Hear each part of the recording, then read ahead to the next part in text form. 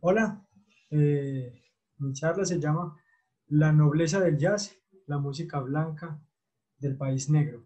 Soy Federico Ochoa Escobar, docente de la Institución Universitaria de Bellas Artes y Ciencias de Bolívar en Cartagena, Colombia. Esta es una parte de mi tesis doctoral del doctorado en artes en, de la Universidad de Antioquia en Medellín, asesorada por Juan Fernando Velázquez. Bueno, para hablar de, del jazz en Colombia, si es música negra o blanca, cómo se ha entendido pues, en términos raciales, quiero primero pues, hacer un resumen de cómo ha sido en Estados Unidos y, y en, el, en el mundo.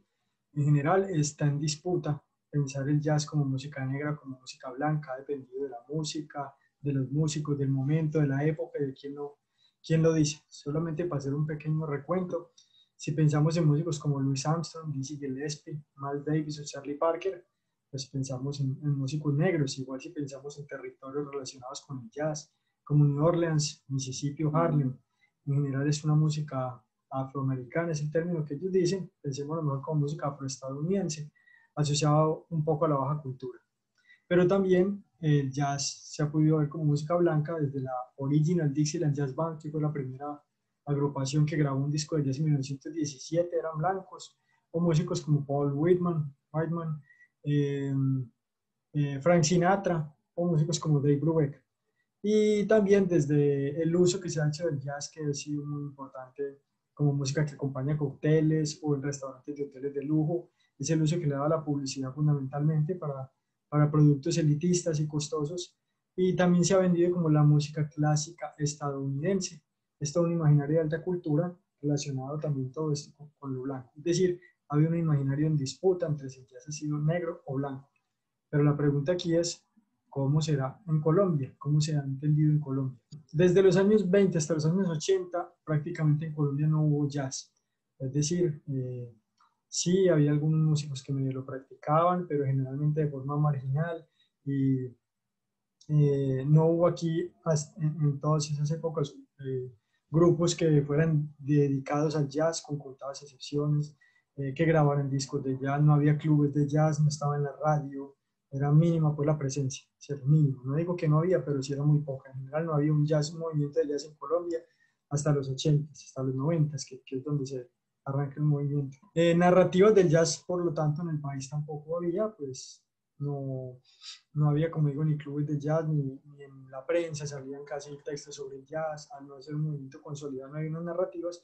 Y lo mismo pasó en Colombia, también hasta los noventas, con, con las cuestiones de raza. Eh, Colombia, el, el, racismo no fue un tema que se trabajara, eh, se mimetizó con la idea del mestizaje, que era un país mestizo, entonces no fue un asunto como que, que se trabajara en Colombia hasta la década de los noventas. Eh, pero entonces, ¿cómo se podía ver esto aunque fuera marginal? Eh, vamos a resumirlo. Eh, de las décadas del 20 al 40 había lo que se llamaban jazz bands. Hubo algunas jazz bands, bueno, varias en distintas ciudades del país, pero al igual que sucedió en muchas otras partes del continente, las jazz bands, más que remitir a un género musical en particular, remitían a un formato instrumental y a que tocaban música cosmopolita, bailable y moderna, lo que se entendiera en el lugar y en la época por música cosmopolita, bailable y moderna, pero no era, no tocaban el, música que hoy asociemos directamente eh, como jazz. Pero sí aparecían cositas relacionadas con el jazz. Quiero ver algunos ejemplos en lo visual. En un periódico eh, de la década de los 20, muy importante en Colombia, en Bogotá, que se llama Mundo al Día, encontramos aquí un, un afiche que sale acompañando un texto. El texto se llama El furor por las del y el polémico Charleston de 1928. Y damos otro ejemplo. También de, de, El Mundo al Día, ya en 1930. ¿Qué se en estas imágenes? Que es relacionado desde lo visual, repito, con el primitivo vanguardista que manejaban las élites europeas a principios del siglo XX, eh, es famoso cómo se distribuyó el jazz en Europa y en partes de Latinoamérica, Argentina principalmente, a través de Josephine Baker, cantante, bailarín en sus espectáculos. Y también es similar a las pinturas de Cuba Rubias que, que le hizo afiches a Baker y, y, generó todo un movimiento plástico pues, que se relacionó con el jazz. En general, no solo aquí se ve como algo negro, sino todos los imaginarios relacionados con lo negro en la época. Alegre, rítmico, espontáneo, libre y bailable. Pero musicalmente, eh, no, no era igual el imaginario, es decir, desde la pintura, desde lo visual se podía ver claramente como negro, pero la música que nos llegaba eh, etiquetada como jazz era más cercana a este ejemplo que tenemos aquí, publicado en el periódico El Tiempo, de los diarios más importantes de Colombia. En 1931 esta es publicidad de una película de Paul Whiteman, El Rey del Jazz, se llama la película, y toda la música de Paul Whiteman es una música más glamurosa, no con estos imaginarios eh, de negrito, sino que el mismo es blanco y la música tiene una gran sección de cuerdas que la hace cercana un poco a, música sinfónica. Entonces tenemos que en la ilustración, aquí resumiendo en las ilustraciones, en el discurso que se puede escribir sobre el jazz, eh, se veía como música negra. Un ejemplo, un, texto del 66, también que periódico El Tiempo, eh, titulaba Un regalo del negro a la cultura. Pero eh, desde el cine nos llegaban más que todo actores blancos, la banda sonora era banda sonora más cercana a músicas blancas, y en general la imagen era de una música glamurosa, blanca, elitista, moderna y ligada a la industria del entretenimiento. Pero más que, más que pensar en los imaginarios en Estados Unidos, creo que es importante pensar la relación del jazz con el Caribe. Desde los New Jazz Studies, que es un movimiento de investigación nuevo sobre el jazz, una nueva mirada sobre el jazz, se está planteando que el jazz no es un producto estadounidense, sino un producto eh, más cercano con el Caribe que con, que con la cultura norteamericana. Eh, algunos autores plantean que lo más importante del jazz fuera una diáspora, se creó a partir de una diáspora, y ponen a Nueva Orleans como el centro de esa diáspora, pero argumentan que el jazz no se crea solo en Nueva Orleans, sino a partir de su intercambio con distintos lugares del mundo. Sin embargo, esta narrativa sigue pensando a Nueva Orleans, ubicado en Estados Unidos, como el centro. Otras narrativas piensan, como se piensa en este círculo negro, el círculo superior, que el jazz es un producto eh, caribeño, pensando a Caribe como lo que está en ese círculo, eh, donde está República Dominicana, Cuba, México, Nueva Orleans, y muestran que todas esas eh, regiones tenían muchísimo contacto, eran casi que una cultura compartida. Es decir, Nueva Orleans era una ciudad mucho más cercana a Veracruz, a La Habana, a Dominicana y a otras partes del Caribe que cercana a, a otras ciudades de Estados Unidos. Entonces se piensa allí el jazz más como un producto, repito, del Caribe. Pero yo propongo esta mirada también, que no se, no, se incluyen estas miradas del Caribe, es que no se incluye el, sur del Caribe, no se piensa en Colombia.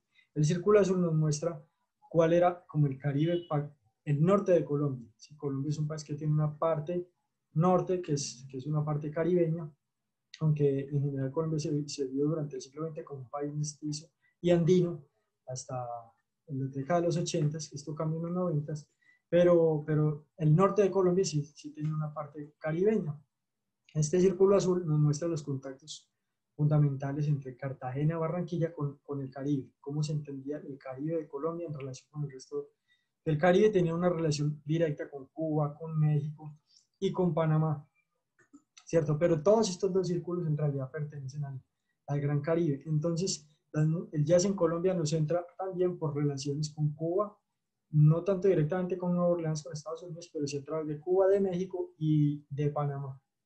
Entonces, el jazz llega a Colombia y es una música que es más cercana a las músicas costeñas colombianas, llamo costeño colombiano al Caribe colombiano para diferenciarlo del resto del Caribe, y se piensa que el jazz es un producto más caribeño que negro. ¿Cuáles son los puntos de contacto con el Caribe colombiano? Que las primeras agrupaciones de jazz que llegan a Colombia llegan a la costa norte y son panameños. Eh, es importante también las big bands y todas las orquestas famosas en el Caribe. Un gran ejemplo que fue importante y influyó muchas orquestas aquí era Casino de la Playa, una orquesta cubana que llegó en la década de los 30 y las emisoras cubanas también se escuchaban por radios de una corta, pero repito, en todo el país, en el norte, en la parte costeña colombiana. Entonces, si el jazz tiene un origen en el Caribe y si las músicas del Caribe México, Dominicana, La Habana, Nueva Orleans tenían mucho en común. Al tener Colombia mucha cercanía con algunos de estos lugares, también tenía cercanía con estas músicas. Entonces, más que pensar que era una música negra o que era una música estadounidense, ya si en Colombia era una música emparentada con el Caribe. Si bien el Caribe colombiano ha sido comprendido como una región negra, como bien analiza Peter Way en su clásico texto, lo costeño tuvo gran aceptación a mediados del siglo XX, visibilizando un poco el elemento negro pero mimetizándolo en un imaginario de mestizaje. Fue por tanto a través del Caribe de los músicos costeños y de sus músicas que se practicó el jazz en el país, por lo menos hasta su inclusión en la agenda cultural en la década de 1990. Lo que quiere decir es que los principales músicos y lugares donde se tocaba el jazz en Colombia eh, eran agrupaciones eh, lideradas o conformadas por músicos costeños, que llegó primero a la costa, que es la región caribe colombiana, y que fueron estos músicos que hacían músicas caribeñas en Colombia los que empezaron a hacer jazz, más como una música cercana que como una música eh, lejana e importada. Desde las décadas del 20 al 40 hablábamos, uno, uno, busca los músicos importantes en Colombia, quienes han hecho jazz, y encuentra que son la Jazz Band Lorduy, Adolfo Mejía, Orquesta Emisora Atlántico, los tres ejemplos son del, de la costa caribe colombiana. Después el jazz, los que hacen jazz pasan a Medellín por la industria discográfica, estaba hablando de los 50 y 60. Eh, los principales ejemplos son Lucho Bermúdez, Pacho Galán, son las orquestas más representativas, pero músicos que hicieron parte de esas orquestas y de otras, Juancho Vargas, Antonio María Peñalosa, Gabriel Uribe, Alex Acosta y Carlos Martel. Todos estos músicos eran de orquestas bailables y todos tocaban jazz. Y después pasa el movimiento a Bogotá en los 70s y 80s, liderado por Armando Manrique, que es guajiro, así como el Gabriel Rondón Barranquillero, yo de Madrid, los hermanos Escobar, Ken Biswell, Francisco Sumaque y Juli Carlos Arnedo, son como los de los principales nombres, todos, todos músicos oriundos del Caribe colombiano, o músicos costeños, como decimos en Colombia. Entonces, lo que yo encuentro es que estas músicas como Lucho Bermúdez y como Pacho Galán eran unas músicas que tenían la misma funcionalidad en Colombia, los mismos significados y se usaban para lo mismo que para lo que se usaba el jazz en Estados Unidos. Por tanto, no había una idea de necesidad de importar una música diferente, sino que ya teníamos nuestras propias músicas que cumplían esa funcionalidad, que servían para lo mismo, eran, digamos, nuestro jazz, aunque no se llamaran jazz y musicalmente tuvieran sus diferencias. Eh, ¿qué, eh, ¿qué, compartían nuestras músicas costeñas con el jazz de Big Band? Estoy hablando del jazz de Big Band en particular, eran músicas bailables, se consideraban modernas, eran músicas rítmicas que incluían el elemento negro, incluían la improvisación, eso se, se usaba mucho en las músicas costeñas colombianas, y compartían incluso el formato instrumental. Eh, entonces la relación entre el jazz y el Caribe colombiano se ve en muchas cosas. Los músicos, repito, que, que interpretaron jazz hasta los 80 en Colombia, la mayoría fueron músicos que llamamos costeños del Caribe colombiano. El repertorio, cuando tocaban jazz, era un repertorio eh, entreverado con repertorio popular bailable local. las agrupaciones eran las mismas, Lucho Bermúdez y Pacho Galán. Son un ejemplo, y los músicos que lo hacían. Se usaban los mismos espacios para los clubes sociales elitistas, para sus fiestas y sus bailes. Eh, se tocaba la música bailable costeña y ahí se metía el jazz. Tenía la misma funcionalidad entonces, y además el jazz que se practicaba hasta los 80 era un jazz que se puede catalogar en términos generales como Latin Jazz.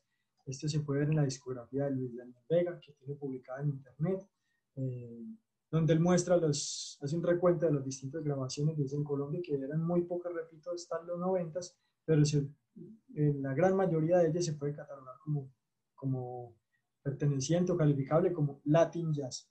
El grupo más importante que había en Bogotá, donde ya inicia un, un poco un movimiento, ese grupo Manricura. Yo animo a, a, los que estén viendo esta presentación a que paren un momento y miren esta presentación que está colgada en internet. Es en un programa de televisión muy importante que se llama Espectacular de GES.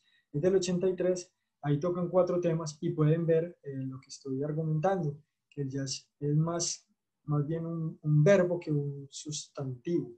Es decir, es, el jazz se utiliza para jazzear la música y en el repertorio que tocan puede ser el repertorio de música popular, de música local, composiciones propias o estadounidense, tocado todo de forma similar, jazzeando lo que hacen y se aprecia la relación clarísima con el Latin Jazz y cómo es más una música que se toca y que es cercana y no tanto una música importada, lejana a lo que están haciendo estos músicos en su cotidianidad, en los bares, en la bohemia nocturna bogotana. Entonces, resumo, el jazz en Colombia hasta los 80 era una música poco difundida, muy relacionada con las músicas caribeñas o costeñas, por hablar del Caribe colombiano, muy marginal. Eh, y quiero traer un ejemplo para mostrar lo, marginal que era. aquí hay un, pequeño extracto publicado en el periódico El Tiempo en el 64, eh, donde este extracto es escrito por Otto de Grave, que era un gran intelectual en Colombia, musicólogo, eh, supremamente importante en la élite intelectual de Bogotá, llegó a ser rector de la Universidad Nacional y hermano de, de, uno de los poetas más grandes, más prestigiosos, renombrados en Colombia, que es León de Grey. Y él escribe en el periódico eh, sobre un disco de artistas famosos, dice al final, dicen los entendidos que el disco es muy bueno en su género, que es un género arcano e insondable para el que suscribe. Es decir, como un personaje de la élite no tiene ningún problema en decir públicamente por escrito que no sabe de jazz, ni que, mejor dicho, da a entender que ni sabe ni va a saber, que es algo muy, muy ajeno para él. Este es solo un ejemplo de cómo la élite en Colombia no se vinculó en general con, con el género de jazz. Sin embargo, en los 90 sí llega el jazz a la agenda cultural del país. Eh, entonces, entra la agenda cultural, entra a la radio cultural, empiezan a proliferar programas de jazz en la radio, en las revistas culturales aparecen artículos sobre jazz, empieza a aumentar los conciertos, se crean la mayoría de festivales de jazz del país e ingresa a la universidad la opción de estudiar jazz o por lo menos clases de jazz, lo que era impensable décadas antes. Esto está relacionado con que el jazz se, se declara como un patrimonio estadounidense y además universal. Estados Unidos empieza a pensar en jazz como la auténtica música estadounidense que todo el mundo debe conocer, es su música clásica estadounidense, y es tan así que la UNESCO pues eh, decreta el 30 de abril como el Día Internacional del Jazz. En Estados Unidos se canoniza, se normatiza un tipo de jazz como el mainstream, como el jazz que, que ese sí es jazz, los otros son una variación, es el hard bop de los 50s y 60s. Y hay toda una institucionalización y, repito, eh, patrimonialización del género dentro de Estados Unidos, eh, que según el autor Dale Chapman, esto también es símbolo del neoliberalismo. Como el jazz eh, entra como alta cultura, pero también como superioridad moral y blanca. En esencia, en Estados Unidos en contraposición a las músicas negras, que eran la música disco, las músicas de las clases bajas, que era el punk, y la música de la gente rebelde, que era el rock. Entonces ya se entra como una música conservadora que, que, tiene una superioridad moral y es blanca sobre estas otras músicas que serían ya de baja cultura, es decir, gana mucho en jerarquía. Y estamos hablando también de una época del fin de la Guerra Fría, donde Estados Unidos ya no tiene que pelear por, por imponerse contra la Unión Soviética y esto se vincula con la globalización y hay un nuevo colonialismo cultural donde Estados Unidos se dedica a exportar ya su cultura, ya si veíamos que antes de los 90, antes de los 90 era muy difícil y escaso encontrar discos de jazz en, las discotiendas, ya en los 90 es frecuente, ya es frecuente que las discotiendas tengan no solo algunos discos, sino una sección dedicada al género, porque, repito, Estados Unidos se dedica mucho a exportar su cultura y el jazz viene a ser su muestra de alta cultura y una cultura supuestamente de ellos. Eh, aquí un ejemplo, para el 96 los productos culturales estadounidenses, principalmente películas y música pop, se volvieron el principal producto de exportación, sobrepasando la industria aérea, la militar, carros y agricultura. Para el 96 las películas estadounidenses dominaban el 70% del mercado francés, el 85% del mercado italiano, el 90%, 90 del alemán y casi todo el mercado británico. ¿Qué pasa? Que tenemos dos formas de entender el jazz, como un verbo, como una forma de jazzear las músicas, como una forma de dialogar con las músicas y poder hacer músicas distintas improvisando, que es como los intérpretes y lo han visto en general los costeños que durante todo el siglo XX tocaron jazz en Colombia, y una forma canonizada, normatizada, patrimonializada de enseñarse el jazz en las academias y en las instituciones, importando un modelo de enseñanza estadounidense. Y quiero aquí para finalizar retomar el nombre de la charla. La charla se llama La nobleza del jazz, la música blanca del país negro. Estoy haciéndole una, un guiño a Berenice Corti, eh, quien escribió un texto que decía sobre el jazz en Argentina, que era la música negra del país blanco. Yo creo que en Colombia es un poco al revés. Colombia, repito, hasta los 90 se pensaba como un país mestizo y es en los 90, finales de los 80 que empieza una revaloración de lo negro en Colombia vinculado a movimientos mundiales de revaloración de lo afro, en Colombia se empieza a dar, tiene un, un, hecho muy significativo en la constitución de 1991 que declara que el país ya no es mestizo por una raza, una cultura, sino que es un país pluriétnico y multicultural. Entonces lo afro empieza a emerger como algo importante a rescatar. Eh, lo curioso es que a medida que el país empieza a entender como negro, el, el jazz nos llega como una música blanca. Eh, entonces digo la nobleza del jazz porque nobleza tiene dos significados. Nobleza es el que es como buena gente y creo que el jazz siempre lo ha sido en Colombia, ha sido una música que se ha prestado para compartir con el resto de músicas, pero desde las academias se ve como una música noble, de nobleza, con jerarquía, ¿cierto? Como el jazz es tan importante y se ha usado el rey del jazz, el príncipe de Duke, Ellington, el duque, bueno, había una nobleza del jazz y, repito, pues se ha vendido aquí ahora como una música blanca en un país que ya se empieza a reconocer eh, su parte negra. Eh, mejor dicho, el jazz los músicos lo ven como una música cercana a lo caribeño, pero desde la academia como una música lejana y estadounidense y esencialmente blanca. Muchísimas gracias.